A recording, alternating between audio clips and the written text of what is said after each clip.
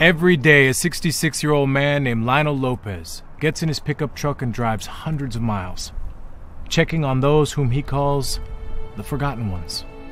This retired Corpus Christi firefighter delivers food, clothes, medical supplies, and hope to the poorest of the state's poor, families who live in colonias, communities that often have no running water, sewage systems, or even electricity.